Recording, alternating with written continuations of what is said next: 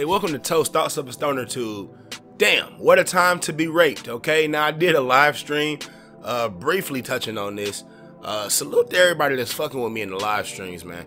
Did two, did my first two yesterday, and it was pretty cool, man. We fucking, I'm fucking with it, and I'm fucking with those who fucking with me in the live streams, man. So if you ain't catching the live streams, you sleep.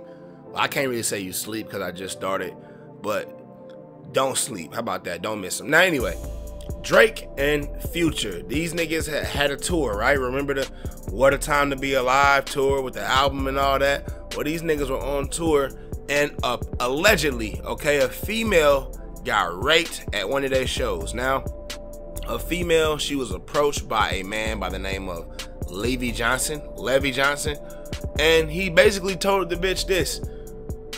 Uh, listen, I can get you backstage to go see Future and Drake. And she was like, oh, really? Okay. So she got up, okay, because she was indeed hot in the pants. Now, the whole incident, if it's true, it's very tragic. I don't want to, you know, seem like I'm defending rape or nothing like that because I'm not. But her intentions were to get fucked, okay? She wanted to get fucked by Drake and Future. Now, I said this in my live stream. It didn't seem like anyone disagreed with me.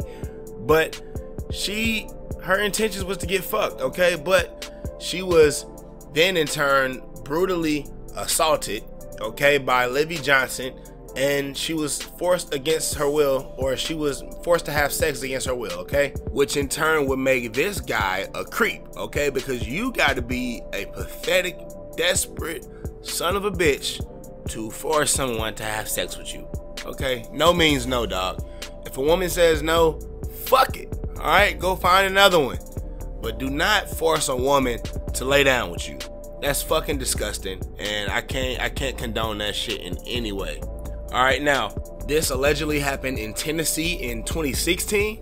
All right, they said that the guy, the uh, suspect, Mr. Johnson, he's been arrested and he's awaiting trial. Okay, so it, it it's it's a strong possibility that it's true. He's been arrested and he's awaiting trial, and they also said that he has an extensive uh, record or he has a violent past, and that the venue should have known this before hiring them, and somehow Drake and Future are responsible, so they're getting sued for $25 million.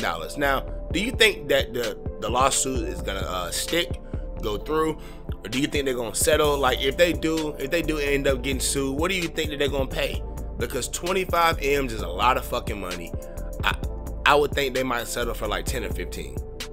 Maybe 10 or 15. Either way, she's coming up. She's gonna be a millionaire from this. Uh, and it's unfortunate that this is how she had to, you know, come up. Or it, it's just unfortunate that you know, if she did get her, you know, pussy taken from her, it's fucked up because she didn't want to. At least not with you, my nigga. So if you get charged with this, then shit, man. It's well deserved, bro. Well deserved. We don't condone rape around this motherfucker. We don't do that. All right. Now, what I think about this, I, I don't think that this is Drake and Future's fault. Okay. I don't think this is Drake and Future's fault that you, you know, you were thirsty and you wanted to go backstage and meet them.